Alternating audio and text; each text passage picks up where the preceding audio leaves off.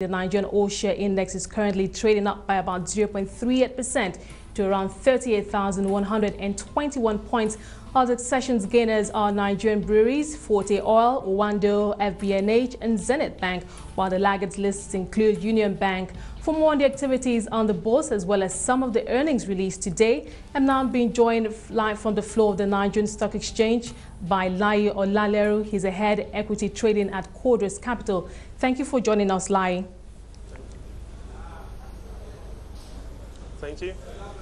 Well, before the earnings came out just a few uh, minutes ago, I was going to tell you that uh, we've seen, although we've seen a rally, seven straight sessions of gains, but uh, the breadth of the market has been rather weak, and we've seen low volumes and low value. But now we have two results, Nigerian Breweries and Sterling Bank. Did that change the mood of the market today? Yeah, thank you very much. I believe the two results that came into the market today actually changed the mood of the market because, uh, like you rightly mentioned, the depth and breadth of the market wasn't so fantastic yesterday. And in my own calculations, if I had the parameters together, apart from the fact that the index gained, I was expecting a slowdown in the market gain today. But as uh, against our prediction, the market is still going up, and uh, I can attribute it to the two fantastic result that came into the market today, that of Sterling Bank and Nigerian Breweries. And the two together, I think, has uh, uh, increased the expectations of investors. And we've seen about 39 basis point gain as at uh, 1140 when I last, check, uh, last checked the market indices. Well, let's take a look at the numbers uh, in detail now, starting quickly, very quickly now with Nigerian breweries. 6.6% uh, increase in half-year profit after tax at 20.6 uh, billion. A profit moderated by 15% rise in operating expenses, but boosted by 61% climb in non-operating income. Now, of course, uh, I've had one or two analysts say that this growth was moderated and nothing to be excited about. Are those your sentiments also?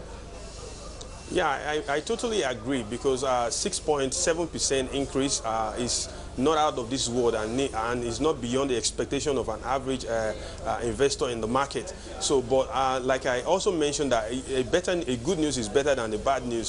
So we should still keep the hope alive.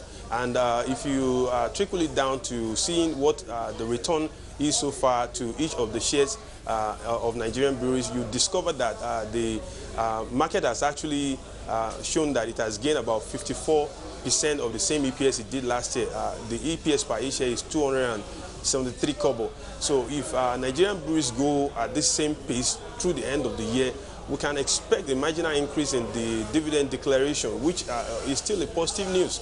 So, uh, and I think the market is uh, being fair on the stock and they've reacted positively well. I mean, currently the market is doing about 177 for Nigerian breweries, and that, that's not bad at all but it's not out of this world, as you rightly mentioned. Okay, let's quickly uh, look at uh, earnings from Sterling Bank. Perhaps you feel even better or more excited by these uh, numbers.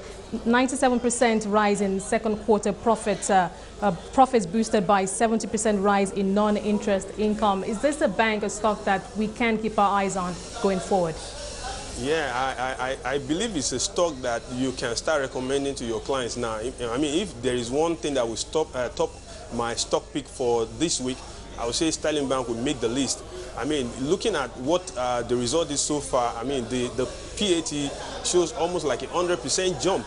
And uh, that basically tells you that the bad times are over for most of these banks, and even coupled with the fact that some IFRS uh, uh, provisions will be implemented this year in terms of the loan loss, because if you look at the loan expense book, uh, there was a spike in the provision, about 1 point something billion for the Q2. I mean, in spite of that, I mean, we still see a very fantastic bottom line. And so uh, if you want to look for a stock to keep your money in uh, pending the end of this year, I think Sterling Bank will, will come on the top of it currently.